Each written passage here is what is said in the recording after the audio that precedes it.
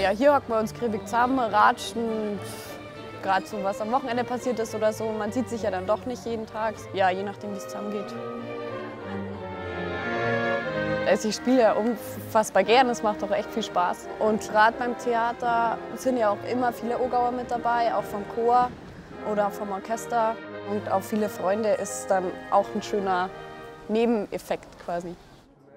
Worauf ich mich freue, dass eben so viele verschiedene Nationen dann aufeinandertreffen und gerade in dem Alter, wo die gerade in dem Leben stehen, was die vorhaben, was die für Ziele haben, wie es bei denen so abläuft. Was ich so weitergeben will, ist erstens mal natürlich über Ammergau so ein Stück weit und gerade das Theaterspielen da noch mal was Besonderes draus macht.